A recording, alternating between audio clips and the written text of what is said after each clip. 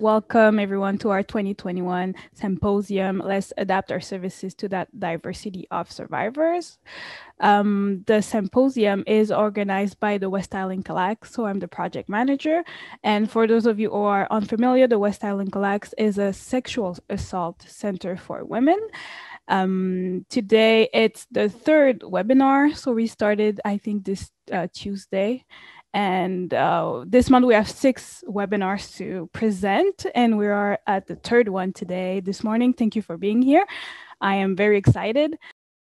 So the title of this webinar today is Indigenous Intervention Practices, Embracing Dignity, Safety, and Culture in Violence, Recovery, and Prevention. So today we have amazing moderator, an amazing moderator and panelist, uh, presenter, uh, Catherine Richardson, and Vicky Boldo. So this symposium takes place on unceded indigenous lands, the island called Montreal, known as Tiohtià:ke, and the language of the Kanien'kehá:ka Nation is historically known as a gathering place for many First Nations um, as an organization that centers uh, social justice and intersectional feminism, we feel that it is very crucial to be informed about the past and ongoing consequences of colonialism. I encourage everyone to learn, to educate themselves, and to learn about the history of this land and support Indigenous res resist resistance. um, so it is for me, it is important to start uh, each webinars with the land acknowledgement, just to remind ourselves that uh, this land doesn't belong to us. It was stolen. And it is important as I think that a lot of people work in intervention or accompany people through difficult times or support folks and their own work. I think that's why most of the people are here. And I think it's important while we do that amazing work, we also have to think about what uh, support indigenous communities communities need as well. So I think it's important to start with the land acknowledgement at first. I try to share something uh, uh, something different at the beginning of each webinar. So um, I wanted to talk a bit about the missing and murdered indigenous women and girls. So since 2014, uh, the data that we have was it was an estimate of 1186 missing and murdered indigenous women and girls in the span of 30 years. And now you were all aware about the report that was published uh, in 2019 um, and the report says that there are no reliable estimates on the numbers of missing and murdered indigenous women and girls and uh, 2SLGBTQIA persons in Canada. So I think that it is really important to reflect on that that uh, of this genocide and think about like there's no estimate. So it really enforces the importance that we there's something that we we have to do something and i think that we've been waiting we've pushed this to the side that issue to the side and i think that it's important to think about that So Vicky is a Métis Cree 60s scoop survivor residing in Quebec. Vicky is a registered uh, energy medicine practitioner and plays a central role in urban Aboriginal community of Montreal. She was co-chair of Montreal Indigenous Community Network from 2015 to September 2019, um, and has held numerous board positions in various uh, capacities, including uh, the board of directors of the Native Indigenous Survivor Welfare uh, Network, the Native Women's Shelter of Montreal, the First Peoples Nature, Nature um, the First People Justice Center of Montreal. She is currently in-house cultural uh, support worker in Concordia's Aboriginal Student Resource Center and a member uh, of Indigenous Directions Leadership Council uh, for the university. Vicky uh, also provides support and is an advisory member in various research projects that touch on issues of welfare, uh, female incarceration, uh, urban indigenous youth, and land-based education. She she strives to be a leader of integrity, to communicate well, and to create safe spaces for uh, the self-empowered of empowerment of others. Most importantly, Vicky is a daughter, a sister, an auntie, mother of four, and grandmother to 10. Connection to ceremony and culture plays a big part in the 20, 28 plus years healing journey that Vicky has been on. It gives uh, her passion, it gives her the passion and focus to give back to the community and use her voice to advocate for those uh, that are uh, muted by colonial oppression. So thank you so much. I'm very honored to have you here today. Thank you so much, uh, Vicky, uh, for being here as our moderator today. So I will leave the floor to you both. Yes, come on. Uh, so thank you so much for having us, Tara, and for this amazing team that you have uh, that's put this conference together. Catherine and I are both very appreciative of that. Uh, so welcome everybody, and um, I'm I'm not going to take up too much time. I know we have a lot of material that we want to be able to share with you. So uh, I get the immense honor to introduce to you uh, Dr. Catherine Richardson, mm-hmm. who is for me uh, very much a kin, very close kin, uh, spirit sister, and um, but she's been so much more than that in my life a teacher, a mentor, um, a really, really good friend. And um, so Catherine and I get to work together uh, at Concordia, but she's also a therapist, a researcher, an activist. She's an author. Uh, there are a couple of new books that have just come out in the past year, and I think another one that's uh, hopefully heading out for publishing. Um, so she's the director of the First Peoples Studies program at Concordia. Uh, she's co-founder of the Center for Response-Based Practice. Uh, Kathy is she's Métis, Cree, Dene, and Gwich'in ancestry. She teaches counselors and social workers, uh, promotes system change and decolonization in all areas of social service. You know, I'm reading this and I think of all of the the traveling we've done together and how we've collaborated. And um, she leads research for a number of current studies, such as the Quebec Youth uh, Network Chair, the Canadian De- Domestic Homicide Prevent, Prevent Initiative with vulnerable populations, and documenting promising practices for Indigenous transition house work. Kathy's the winner of a Canadian Counseling and Psychotherapy Association Indigenous Practice Award in 2019. She is co organizer of the Dignity Conferences and, um, as I said, currently working on uh, another book to be coming out. And Kathy also ran, I remember this, she ran with such passion for the Green Party in the 2018 election. So I welcome you and introduce you to Dr. Richardson. Thank you so much, Vicky. Wow, I've got to edit that uh, intro so it's way shorter. it's my great pleasure to be here with all of you and with my dear sister, Vicky Boldo, as well. So uh, Tanse Nitotentek, uh, Noewin Kinu Isqueu, that's my Cree name. It means golden eagle woman. Um, I'm Métis and I have ancestry long ago from the Quebec Cree community, uh, from Red River, and my mother's from the community of Fort Chipewyan in northern Alberta, as is her mother and her mother. So um, that's a community for Métis, Cree, and Chipewyan people. So I'm happy to be here in Tiohtià:ke and um, doing this important work. Um, one of the things uh, I'd like to invite you to also invite your ancestors to come and be with you. Vicky and I did a smudge before we started today, and we'll close with a song for you after. Um, it's really important that we do this work respectfully and safely and carefully.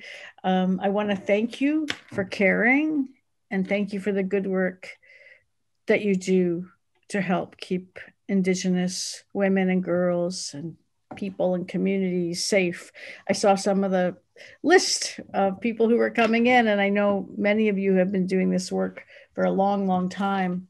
So, one of the teachings that I received that I really enjoy is that uh, our ancestors set this day up a long time ago. They knew that just all of us would be together. I don't know if they knew that it would happen on Zoom, um, because like who who could know that, right? who could envision this kind of technology and that we'd all be inside a house like for for for almost a year now. Um, but uh, it's a lovely thought that this was all part of someone's greater plan to help keep people safe and respected and cared for and belonged on this planet. So, um, Vicky, I'll just uh, I'll say hi hi when it's time to change the slides, if that's okay. Yeah. And we're that just sounds uh, great. So hi hi and thank you, Tara, so much for the um, land acknowledgement and for setting up uh, the guidelines and the safety for this uh, presentation today. And uh, usually I go by she and her, but I'm happy to be called they if you want to do that. And we'll we'll do our best to be respectful to everyone in this room. Hi, hi. We're acknowledging the land, and uh, you can change it, Vicky.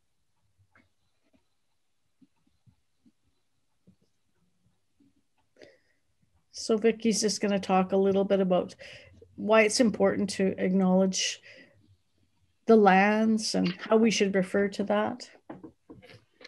So I guess I, will just start off by acknowledging, even for myself, I am I'm not in Tiohtià:ke today. Uh, since COVID, I have been working from home, and I live, work, and play out here on these lands on uh, traditional Abenaki territory um, out in the eastern townships. And um, I try and keep that, I, I, really try and remind myself and keep that in mind all the time that uh, to walk with much respect and humility. And um, I'm so fortunate that I do. I get to play on the waters. I have the lake right down the road, and I spend a lot of time on on that water or near it. And um, the same thing with with being in my yard, my heart goes out to everybody um, with with all of this uh, lockdown that's happening and and being under curfew. Um, I get to, you know, be be out on the land, be out around my home on the on this little little block of, of land that I have that are surrounded by uh, cedars, and so I I often when I'm speaking with others i say you know why does this matter? Why does it matter to know um, where where you are? And no matter where i travel i always try and um, inform myself beforehand of, of where i'm going to and who are the uh, traditional peoples of those lands and what are the stories the stories are important to understand and i think especially in these times you know since 2015 where uh, we're talking all the time about reconciliation, and it's important that we all know the same stories and that we all own those together. Um, and as I say, the more we we know ourselves, the better we understand ourselves, and vice versa. The better we understand ourselves, the better we know ourselves. So just keeping in mind all the time in those lands when we look at a map like this of um, you know, we talk about pre-contact that there were, they predict there were over, you know, 100 million um, vibrant, thriving uh, indigenous peoples uh, across these across these lands, across just across Turtle Island.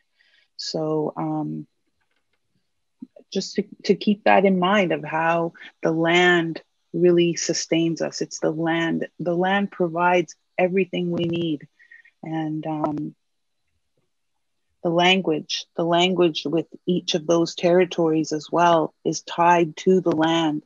And so even as we look around the world, I read at one point where, you know, every three days there's languages that are going into uh, danger of um, major loss and extinction.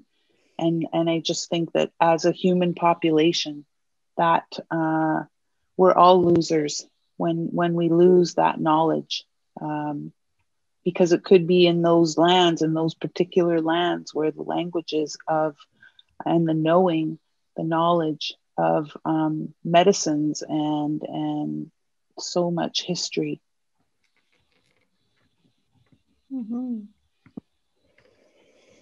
this was one of uh, kathy's kathy's slides where in her work that she's done uh, out in the Cowichan um, you know just the, the, the loss and how you know like i'm saying that we all need to to know the stories we all need to know the same stories in order to be able to move forward there's so much healing that happens in that truth telling mm. and land is life that's uh, our dear colleague Allan Wade who uh, works with kathy um, through the response based uh, practice. Hmm. This one I, I bring up, I, I just want to point out that uh, Aboriginal First Nations, that for me right away was a bit of a flag where I'm thinking, okay, who created this map? and so there's always something about being having a critical eye when we see things and and looking into it a little bit so that again you kind of um, it's it's all in getting educating yourselves and not always going to indigenous peoples to, to get that that education or that information because that can be very tiring as well but still an interesting map to, to show uh, the nations and the and the proper names um, but again i would say just to be critical as this map was created by a non-Indigenous person. Mm-hmm.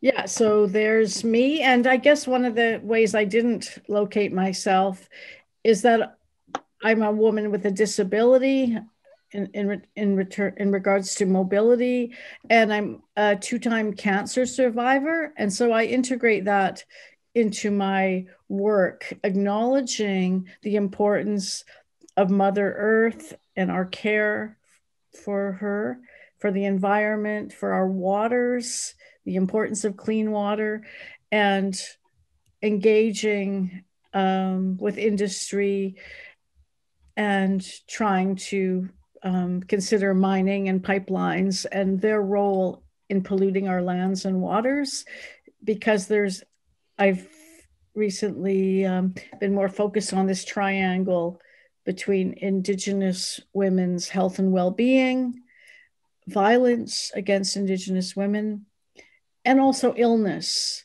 because at the root of so many conditions that people live with, whether they're called psychological conditions or physical health conditions, violence is at the foundation. And what I would also say is untreated violence, violence for which women didn't have enough safety to even talk about, or there weren't the services and supports to go get help. So over the years we've had to manage this ourselves and many people do it very carefully through abusing med- uh, using medicines and substances and sometimes that means con- consumption. Um, we're always trying to manage our pain. And when it gets safe enough and competent enough to really support this important kind of healing then we'll find other ways as well um, but right now, we're doing the best that we can. Hi, hi. Oh. So I think Tara did mentioned a lot of, about myself as well, but one of the things I could say is yes, I'm an uh, adoptee from the 60s, and my my mother and my kokum were from Treaty 6 territory.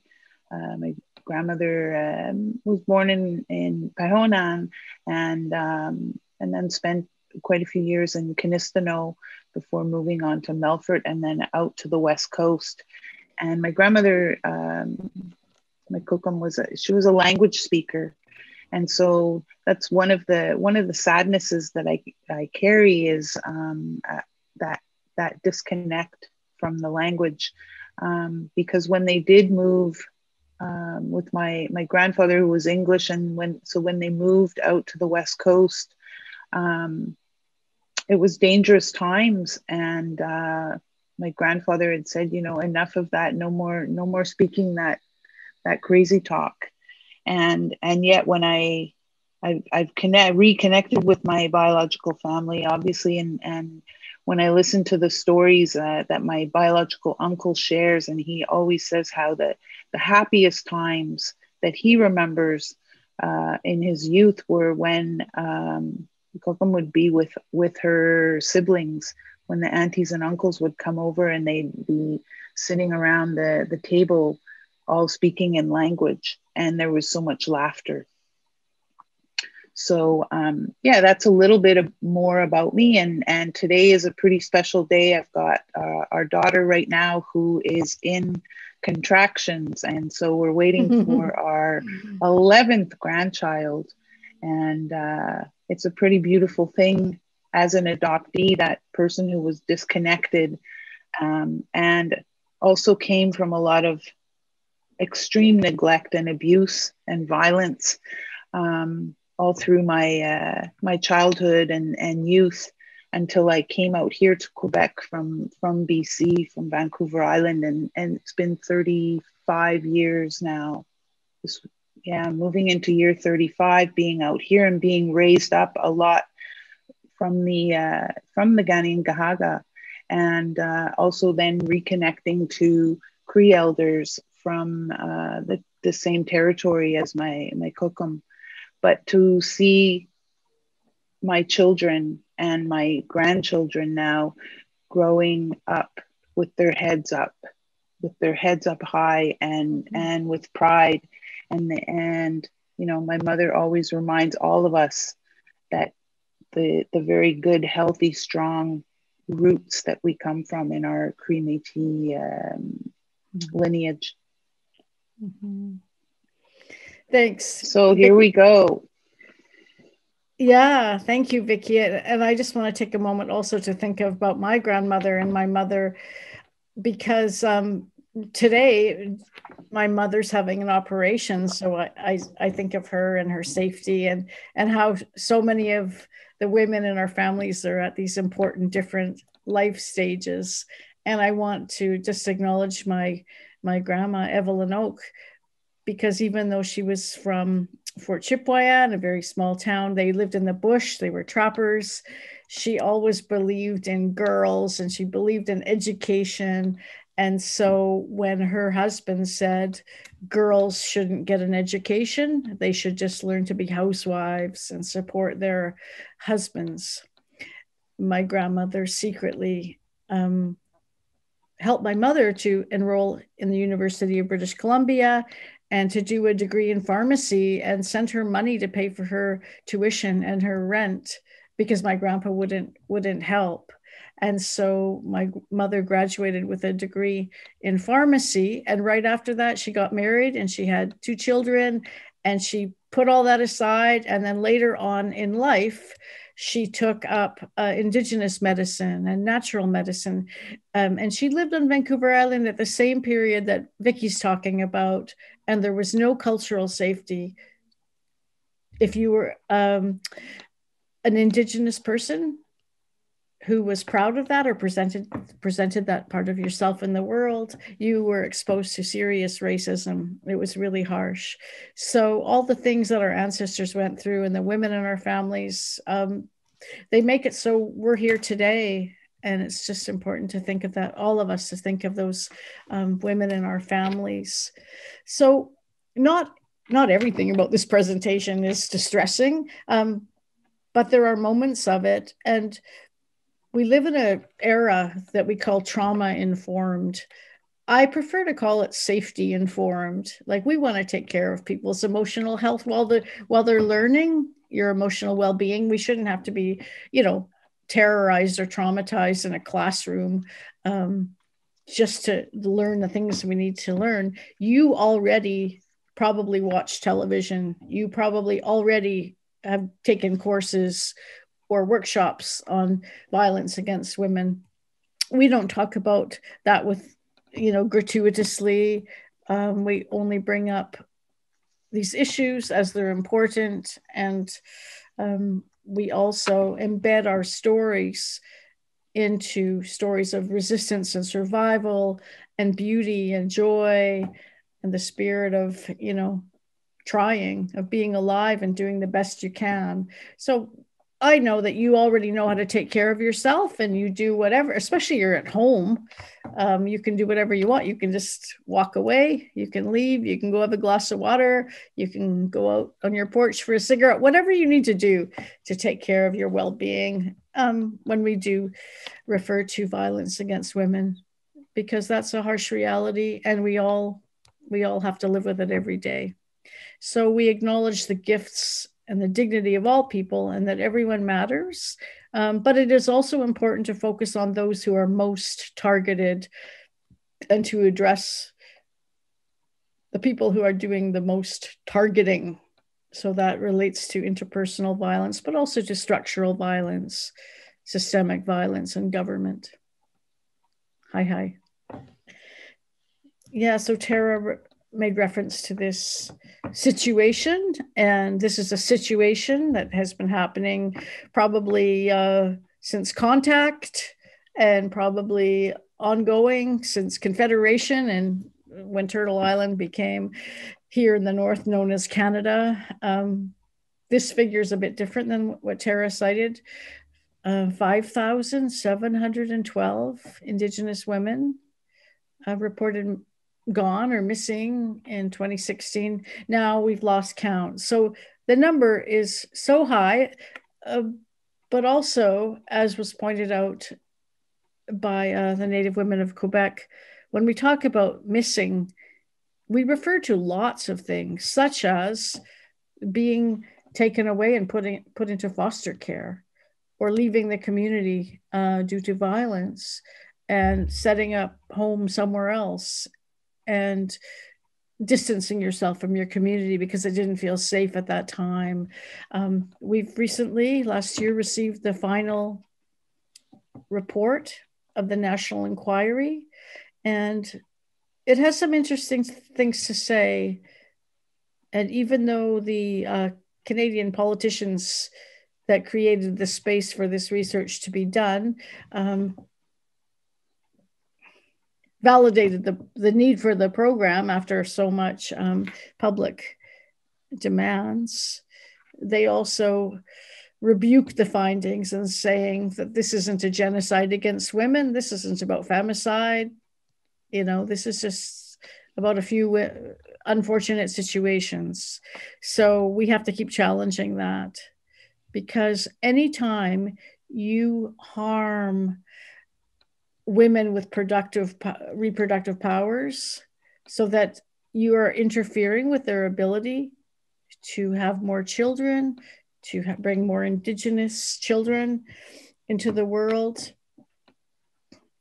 You are committing a genocide. So we have to go out and support this this document and the real the difficulties that they had in bringing all this to the fore. It wasn't an easy process at all, and it wasn't perfect, um, but certainly it's a start. And I hope the momentum keeps keeps growing. This isn't over. This is just beginning. Hi, hi.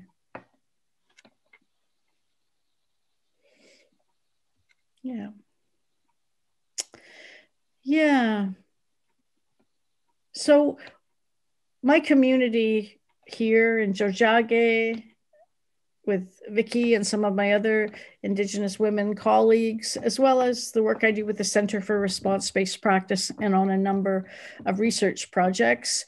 Um, we're trying to address the issue of ongoing violence against women and girls in many forms.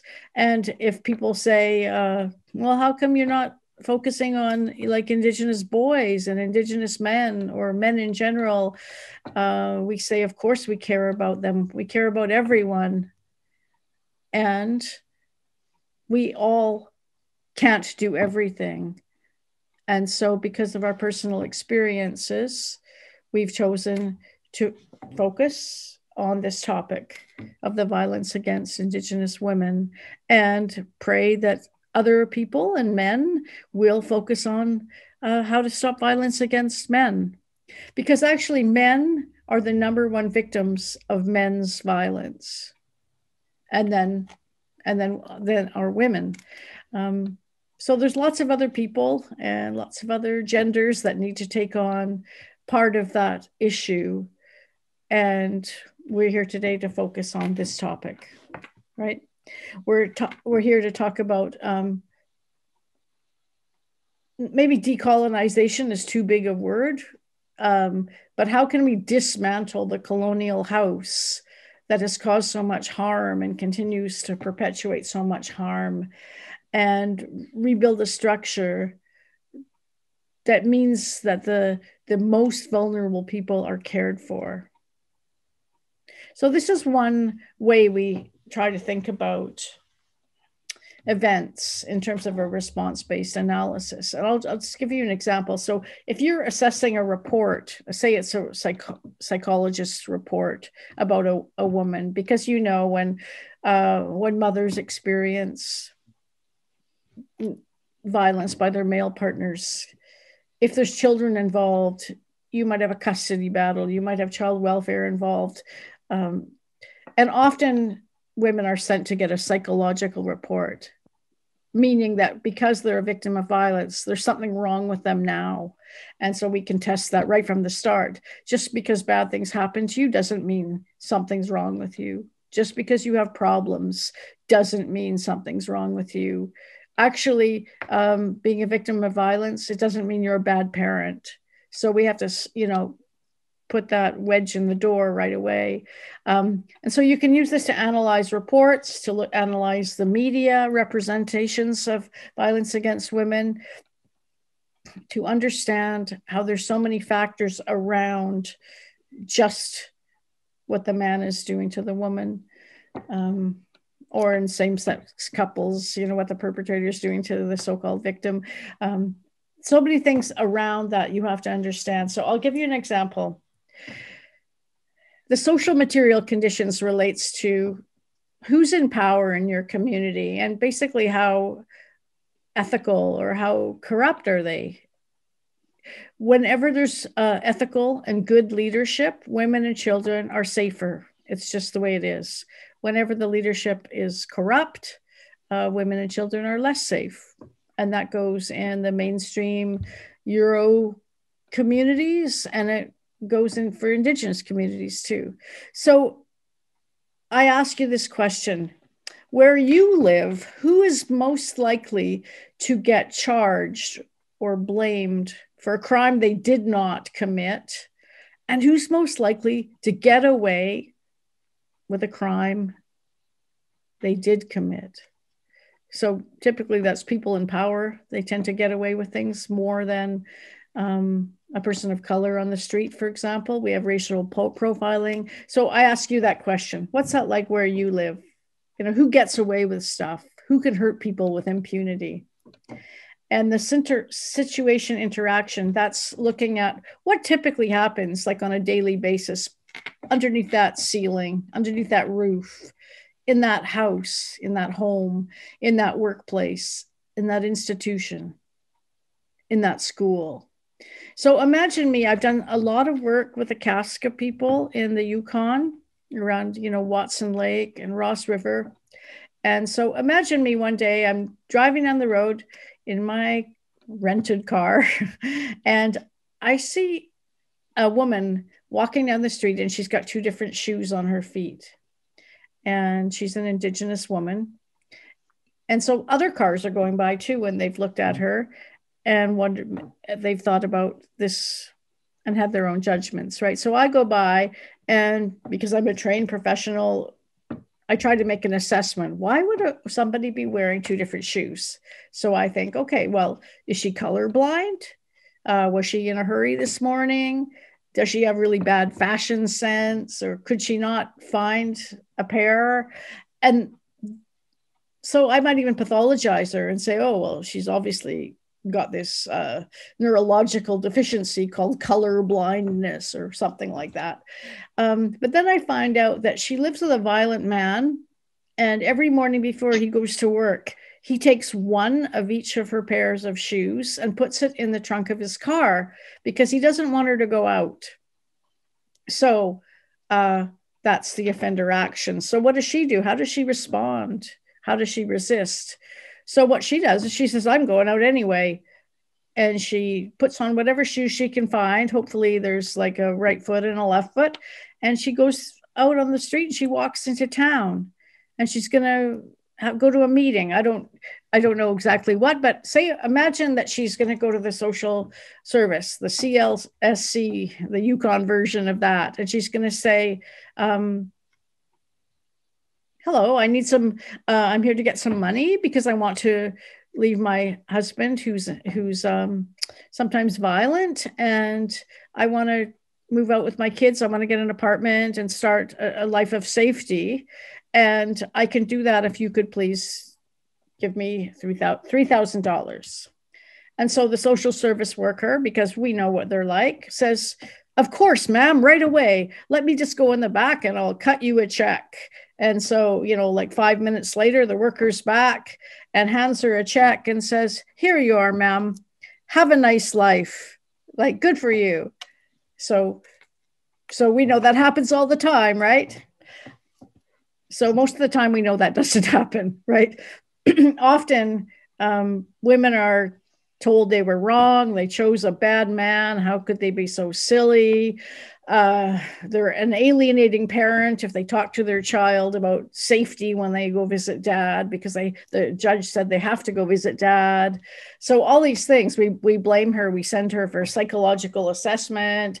Uh, we say that maybe she had attachment disorders with her own mother whatever we do we pathologize her and we blame her we make her partly responsible. And sometimes when child welfare's involved they might make a case that she's too traumatized to parent now I heard one uh, case where a social worker removed four children because um, she didn't want the children to see her mom, their mom crying, right? So, you know, typically she's not handed a three thousand dollar check and and wished well.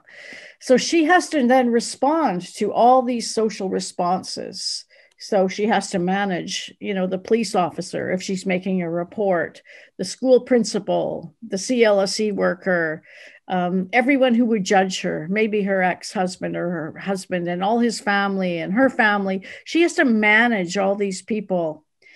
She's trying to repair and preserve her own reputation as well and her dignity because what so often happens is that perpetrators of violence tend to destroy or try to attack the reputation of their victim first so that when she actually goes to tell people he's already isolated her from friends and family and put out the idea that she's not of sound mind that she's a bad mother bad housekeeper she's you know she's not a very good wife and she already she's mentally ill in some way so he's kind of tainted her reputation so that people won't believe her or they'll treat her as if it must have been partly her fault too, which we don't believe, right? So, because we study how she resisted. In this case, she did all these things. She found the shoes that worked. She walked out, even though it was 20 below, and all these people were driving by her. Some of them were opening their windows and yelling racial slurs at her, chucking a beer can at her, whatever. And she goes through all this and she goes into a social service office knowing that she's not going to be treated very well, that they're going to kind of roll their eyes at her request for money and make her go to all these programs but she does it anyway. She does all these things and then she responds to everyone's responses. So we understand that everything she's doing is trying to preserve her own dignity her own safety as much as she can and the safety of her children and those around her.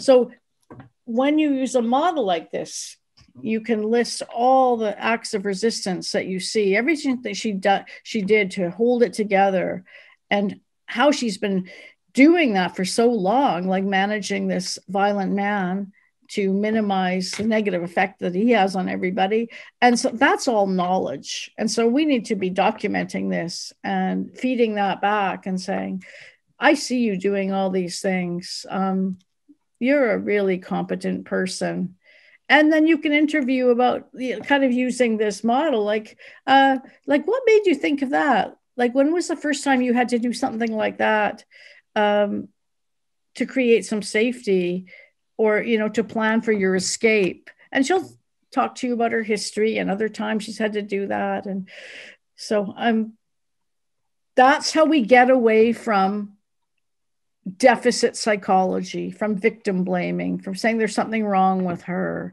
Um, you know, there might be something wrong with her, but that's another topic. This is it, the interaction the, around violence and responses to it.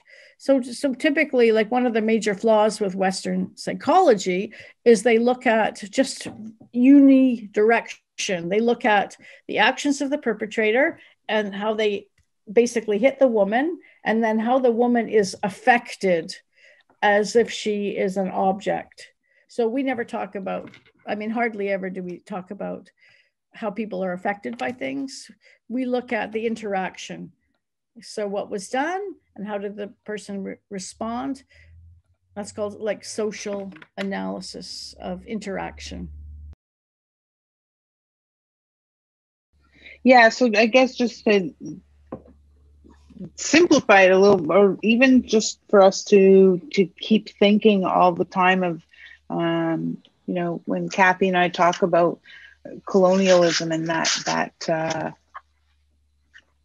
the big form of humiliation. And so for those of you that are here today that know me like um, part of kathy's job is to keep me on track because i start storytelling and and go off on tangents. But when i was thinking of this slide in particular of of uh, all of the humiliation like how many times i've heard people say that thing of kind of well you know that was in the past uh, or that was a long time ago or you know or when are you going to be able to move on? Um, and yet something like the indian act which created and continues to create and and foster that that humiliation that um, lack of it, it it deters our, our sense of pride because of um, you know the things of blood quantum and how often I've thought of individuals who've said to me like blood quantum you know who uh, they don't remember ever having received a blood test uh, to actually measure like what is that? How how native are you um, that you can get assigned a number um, and and that you carry that number with you for for the the whole time of your your life your your earth walk. Um, you know we think of of education and and with the students that i work with um, that enfranchisement that happened where if you became a, a, lawyer or a doctor if you went and got an education got a degree if you were in the canadian army and you went off to fight in the war when when you would come back you were no longer recognized as a status native. And um, how how those those uh, policies and legislature and being put in place, how that chips away at, at the pride and the dignity that Kathy speaks of, how that just eats away at that. Um, and so, even with students I work with today, where they come down from the north or from remote communities to get an education, but their parents and their grandparents lived those processes and um, and it still affects them so much how each time they they leave to come down um, for studies and and their grandparents are just it's hard for them to get their minds around of like oh why are you going to go like there's all of that that um, that memory that that cellular memory, that body memory of the of all of the pain that was created because of these things. Vicky, can I just add something there? Yeah. Just want to let everyone know that around 10 years ago, we, we had the common experience payment, and that's when the federal government said, okay, we're going to make some reparations for certain um, First Nations children that attended uh, what they call residential school. We call them prison camps for Indigenous children. Uh, so they set out a payment guideline, and then they got lawyers to have meetings with people to determine what happened to them. And it was almost like a game show because you had to say certain words so if you mentioned, for example, certain kinds of physical abuse, it was like ping, and you got a dollar. And you had to mention certain forms of sexualized abuse, and it was like ping, you got two dollars. And you might get more money being if you talked about penetration. So you could get like five dollars if you said that word. And if the a person who was trying for their whole life to forget what had been done to them and then now they're here and they're asked to bring it up and remember it in detail um, even though in many first peoples cultures and communities people are humble and they don't like to talk about personal private parts and their body and things to do with sex. They don't talk about that publicly. And they're asked to do something. The payment based on these words that they would say and i've even seen like the lawyers were even trying to help the person and say you have to say the word rape or you have to say the word penetration otherwise you're not going to get that thousand dollars and it's just it was just shocking. So I just want to point that out as one form of humiliation that I witnessed, you know, that was very dreadful. And that people would say after those sessions, they didn't offer anything to my mom or to my parents. We were kidnapped from them. They suffered so much. And one man said, That's why today I've turned this this hearing, this session into a ceremony to acknowledge my mother because you do not acknowledge her and the pain that you caused her and my whole family. So I just wanted to add that in, Vicky. Mm-hmm. Thank you. And then the research that's coming out also of how um, how many in- individuals we've lost uh, because of those settlement payments, right? Yeah.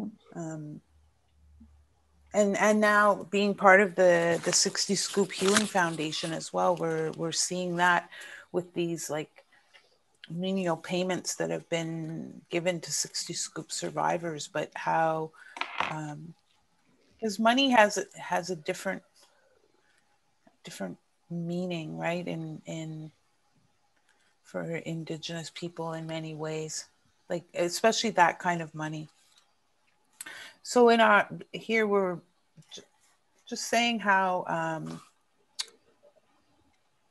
a lot of the uh, a lot of change, I guess, that is happening. Kathy alluded to this earlier of of you know who are the, who are the women that are um, making these or contributing to these changes and a and you know we were acknowledging our our mothers and our grandmothers and uh, each of us, no matter no matter where we come from, um, which lands we come from. If you if you look at those women in in your in your lineages of of how many of them were um, change makers and shifted things.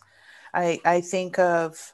Um, I was listening to a, a, a lecture last week from uh, Sylvia McAdam from Idle No More, speaking about uh, treaty and saying how how important and didn't I don't think I actually knew that there were so many there were the treaty women who were actually informing the men when those treaties were being uh, created and how the men kept going back to to consult with the women and they were there they were there all along mm-hmm. um, you know, the the the right to vote, um, education, how Bill C thirty one, you know, was those were all changes that were um, that were done by women. I think of in in recent stories. You know, you think of uh, Colten Boushie, the whole Colten Boushie story. For those of you that are not familiar, young, um, beautiful young uh, Cree youth who was uh, killed at point blank um, in in Saskatchewan, and uh, Gerald Stanley, who who got off on those initial charges, and I think the the final charges were just because of uh, the the the weapons that they found on his property. But he actually shot the young man like right right in the head at through the window of his truck. But Colten Boushie's sister, how she um, she's gone all the way to the United Nations. Mm. Um, to fight for that. And then there's a really a really great film that recently uh, came out that was created um, sharing sharing that story. Mm-hmm. So yeah, again, just the importance of um, it's something we do as women, isn't it? We we put our lives on the line. Mm. So I share this little story because dignity, human dignity, and dignity of all life forms and our more than human kin is central to response based practice. And it's central to human beings as we are spiritual beings. So every culture and every person might have a different sense of like what dignity is how do I show it in my body? How do I treat others with kindness, respect, and dignity according to my own or our shared culture? And this is an excerpt from Nelson Mandela's um, biog- autobiography when he talks about how he realized that was so important to him. And basically, he was playing with some young boys. He was riding on a donkey and they were young and one of his friends took a stick and whacked the donkey on the behind and it bucked him off and he went flying through the air and he landed in a prickle bush. And he said i was bleeding and crying and hurting and my, they were laughing at me. And that was the first time i had felt the sting of humiliation and and how terrible that was. And then at that moment he vowed that he would never treat another person that way, which is what many people who've been harmed by violence do. They make those commitments. I, when I'm a mom, I'm never gonna um, treat children this way, or when I'm an adult, I'm never gonna treat children badly, or whatever that people say that's important to them. And he made a promise that, you know, later on when he was in politics, he would defeat his opponents you know, through strategy or cunning or intellect, but he would never humiliate them because he thought that was a terrible fate. I just want to say that in in our families and cultures, we teach children right from the start that you're not allowed to hurt people's feelings you can't eat Aunt Meg's spaghetti and spit it out and say, yuck, this is terrible without an adult coming and intervening. We don't say, like, pass the F and salt. We say, could you please pass the salt? Because we know that to humiliate another person or to be really uh, rude or embarrass them, it causes a social wound. And that can fester for years. We've seen families feuding because one per one person insulted them or um, you know treated them in a bad way. Like two generations ago families organize this. So when there's a social wound we have to address it. And we have to address it with all the people involved. So everyone knows that oh it's been made right. And um, that's that's what relates to uh, people who've been hurt. When somebody attacks you, you feel like you've been acted upon against your will. and you feel embarrassed and sometimes you don't always want to tell everybody and you make careful decisions about who to tell and how to disclose and so often when we say something like the genie is out of the bottle and we lose control of it so when we're trying to help people we have to center their will and well-being and ask them how can i how can i help you what would you like me to do right now when i would facilitate family meetings, I'd ask people um, a number of questions, but one is, uh, what's one thing I should never do with you? And, you know, they tell me, and I try to respect it because they know um, their own life and what's going to work, right? They know the people involved. And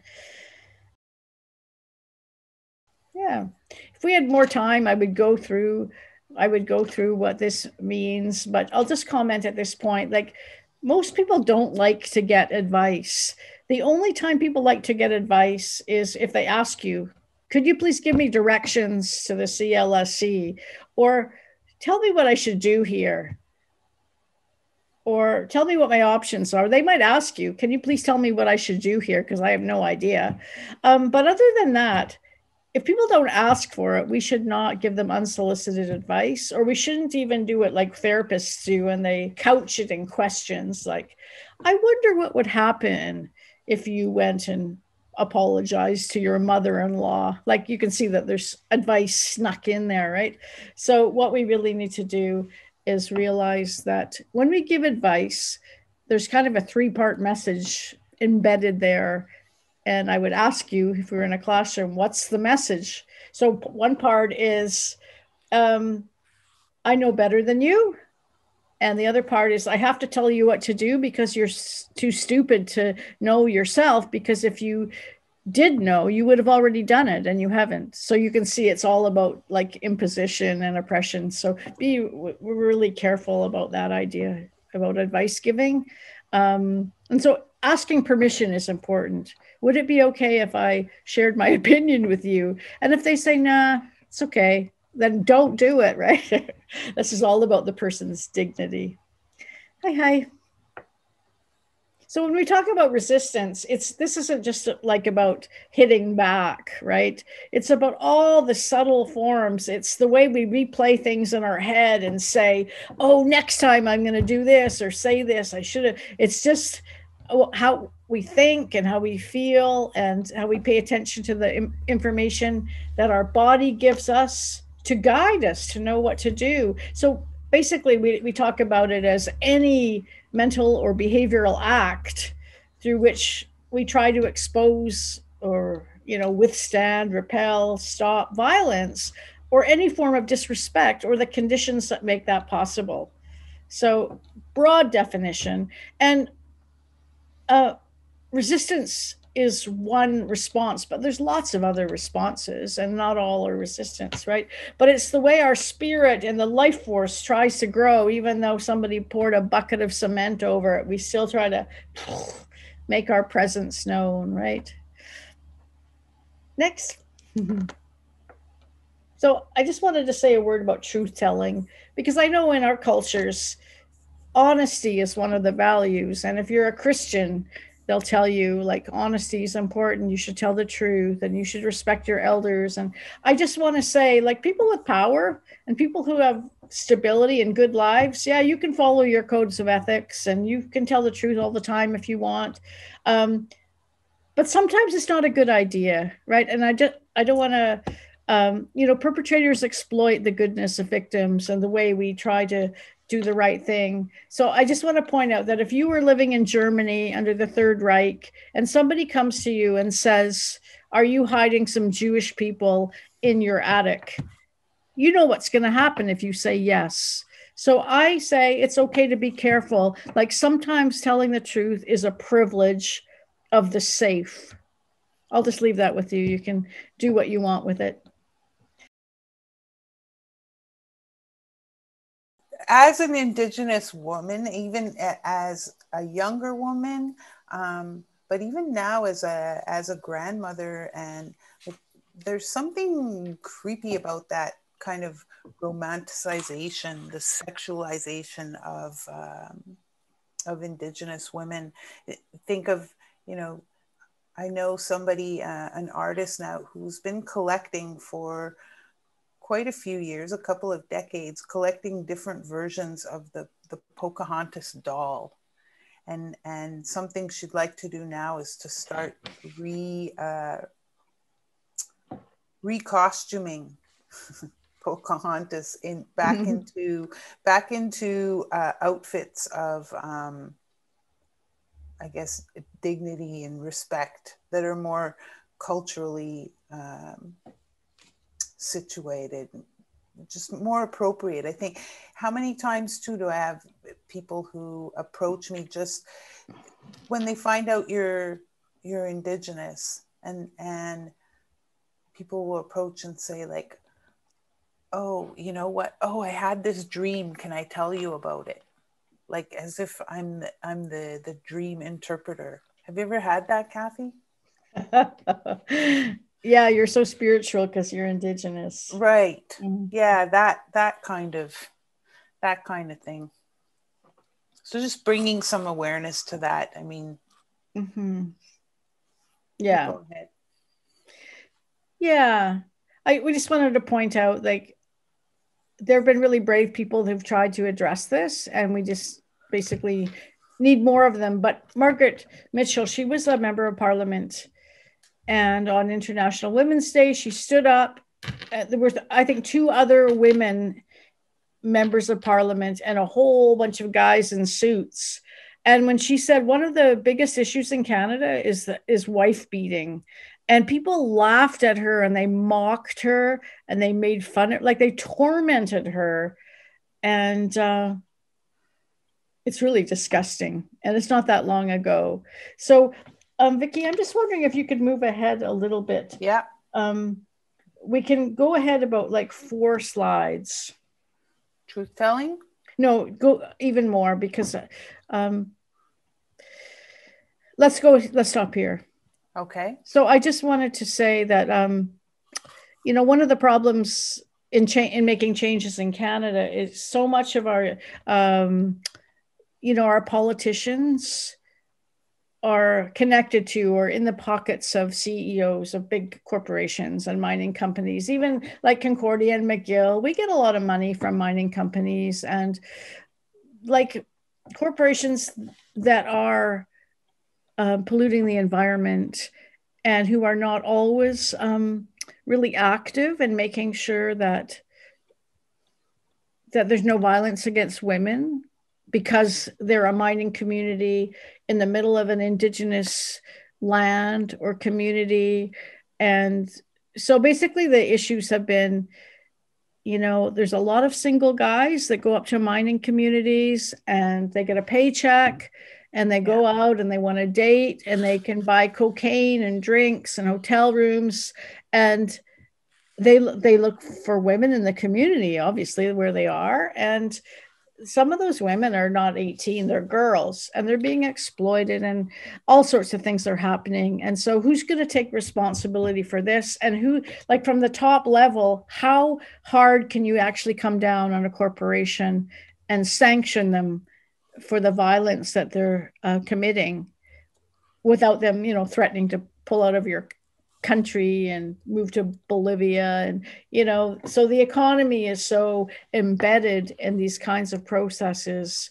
It's going to take a lot of lobbying and restructuring and a new a new economy um, to make sure that the safety of people and and uh, women and girls and indigenous communities the safety and dignity is protected. It's going to take a lot of a lot of work. Um, so, Vicky, can you go ahead uh, two slides to the Highway of Tears? Yeah. So that's yours. We're just going to talk a little bit about the importance of doing this together and grieving together. Yeah, and, and the healing that can happen, right? Um, I guess a bit like I said in the beginning of um, that we all that we all know and share the same stories, the same the, the, the same history, and um, that it's in in that collective right that because we all we all have lost um, through through those processes. We've all lost through through colonization. Um, but i think you know again I always speak from a, a, position of, of what I know from lived experience. That's what I really know, right? Is the lived experiences that I've had. And so um, I think even of Kathy, when I first started working, getting to know her, and then actually sitting with her at one point um, on my on my journey and and sitting with her and and the way in which she accompanied me. She sat with me, listening to the pain that I that I carry, all of that body memory, um, but just how she too. It, that was really that that accompaniment that happened was how she um, made that that safe space and um, really turned things for me to the, you know she spoke earlier about those responses and made me started making me aware of all the things that i had done right and responding to things throughout my life. And so even in these in these um, often as as those who non-indigenous you know the allies the co-resistors those that want to be assisting in some way, making a difference, doing something differently. Um, I think that's that's key to that process happening. That's that collectivity is in acknowledging too how what what are what are your parts within those stories and getting to know what the real histories are of that whole process of, of colonization throughout throughout history since people um, started becoming started coming to these lands. Um, I guess mm. I'll I'll just go on to the next slide there, Kathy. When I think of like the the public grieving, like what, because all of us, you know, indigenous, non-indigenous, like all of us suffer. It, it, we hurt you know as a as an energy medicine practitioner like uh, even in these times now with covid all of us are going through these up, ups and downs all the time. And and i think of it like globally we're all in this pandemic. And so energetically how does that affect the, the, the energy the global energy right? And and how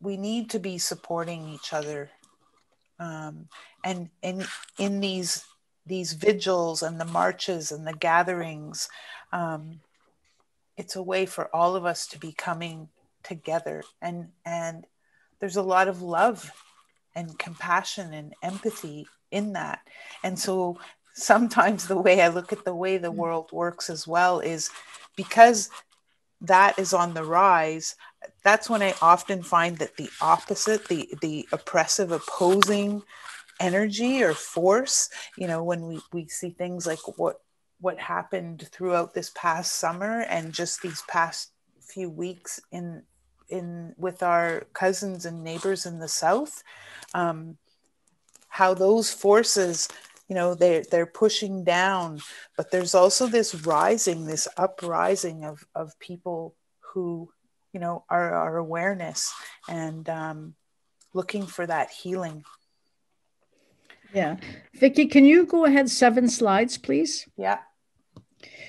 So uh, my um, mom and her parents and my mom's sisters they um, lived in Uranium City, Saskatchewan during the Cold War. And you already know that one third of the world's uranium for the atomic race, the atomic bombs in the Cold War came from Saskatchewan.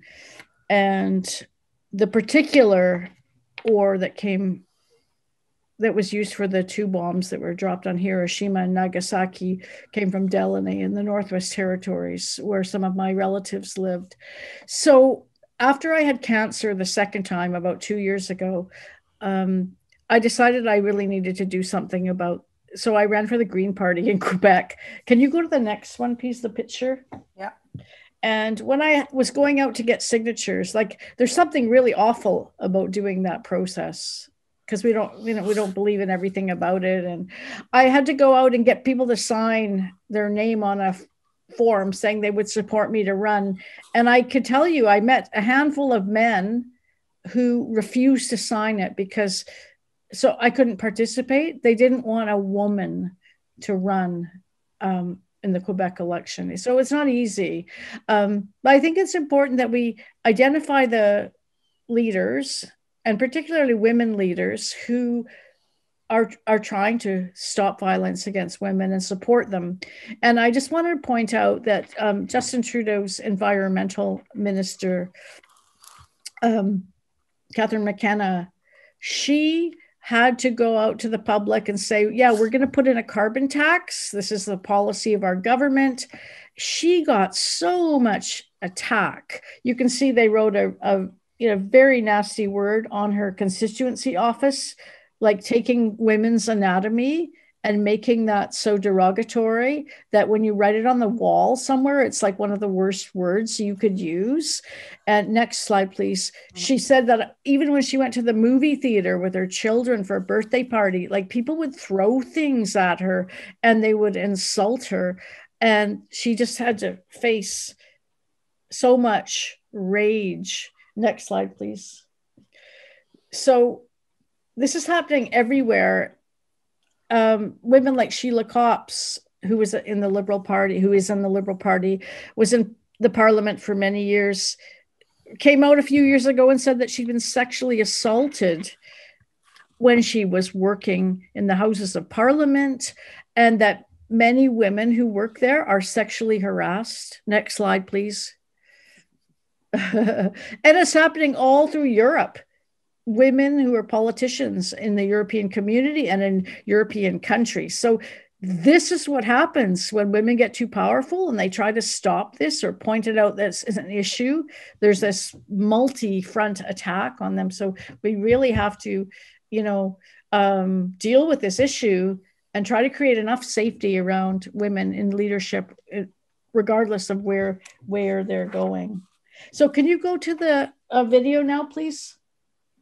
So I guess the message that we want to leave you is that as social responders, we can do so much to make a person, a woman's experience dignified and respectful and calming and healing when we sit with them during and after disclosure, and that the positive social response is so powerful. It can really change a person, it can restore their faith in humanity, in kindness. Uh, they can transmit to the, that to their children. Yes, this is a good world. Some bad things happen, but most people are good. And that's what we need to pass down through the generations. So we're just going to show you the power of that in a little vi- video clip here. It's called People React to Being Told That They're Beautiful. It goes along with what Catherine just said. And then if if anyone, for those of you that have time to to stay on, uh, we'll close we'll close the circle with the song. Perfect.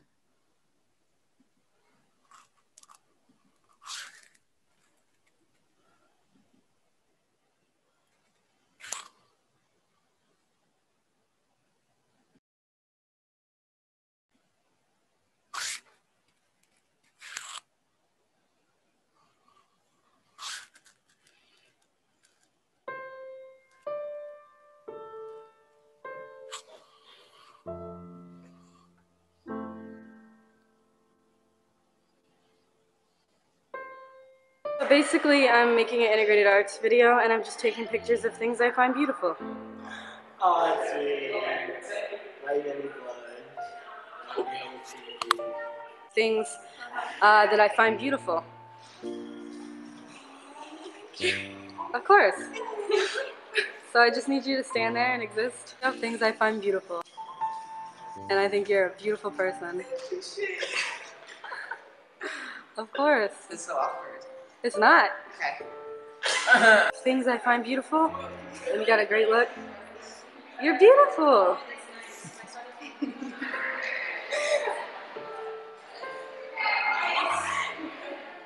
Just taking pictures of things I find beautiful.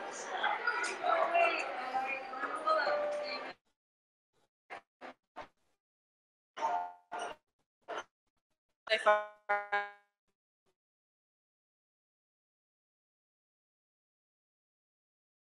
No problem. What's your name? Like R Y U E. Awesome. Things I find beautiful. Of what? Things I find beautiful. I'll catch you in the face. What? You're saying you find me beautiful? Yes, of course. You better wash your ass. You're a beautiful being, and you know it. Shut up. You're a beautiful being, and you know it, Zoe. Alright, are you done then? Do you have what you need? Why are you being like this? Clearly you're being goofy. Things I find beautiful. I'm taking pictures of things I find beautiful.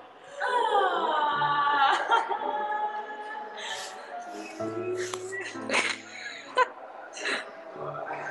Things I find beautiful. So yeah.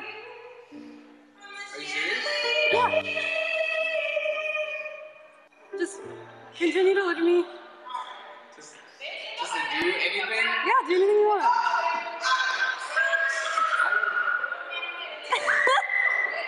What the fuck am I doing though? Just look at me. Just look at me. I kind of don't believe it. Beautiful.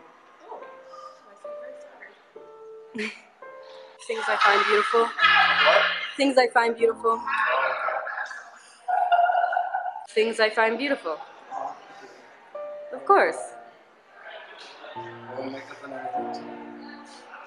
Things I find beautiful, so. Things I find beautiful.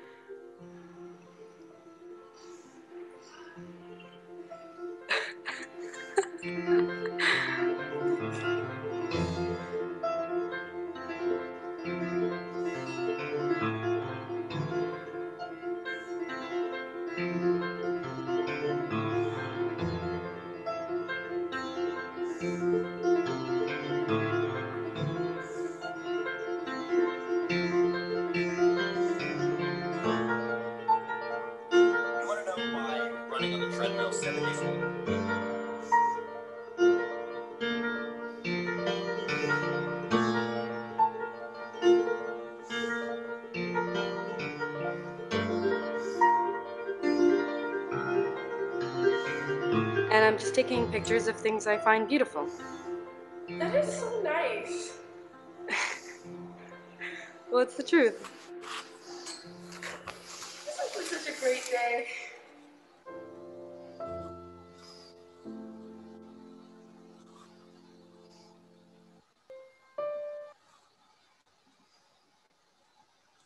So I guess we'll do the strong woman song today because that seems real appropriate for this uh,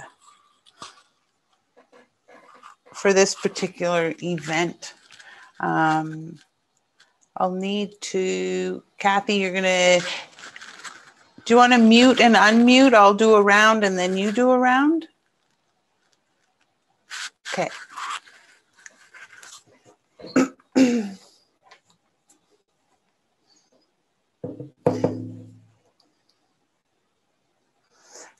Do you remember the full story on this song? It came out of the the women's pen, Mm. right in Kingston, Yeah. and they because they brought the big the big drum into the penitentiary, and uh, and this song came out of there. But it's now it gets sung at ah, almost every every rally, anything I've been at. There's the the strong woman song.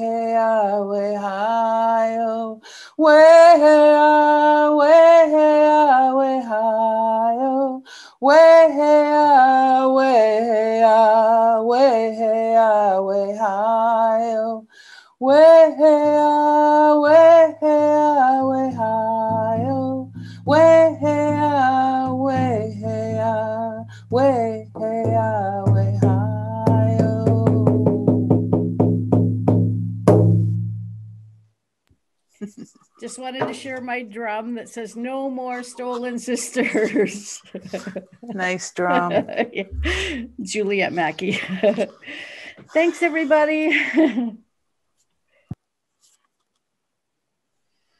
Thank you so much, Vicky and Catherine. It was beautiful. Thank you so much. Thank you so much for being here. I have a lot of gratitude, lot of, of abundance right now. Thank you so much. Thank you for everyone who were there today, who attended this webinar. Um, hopefully, we'll see you on the next ones.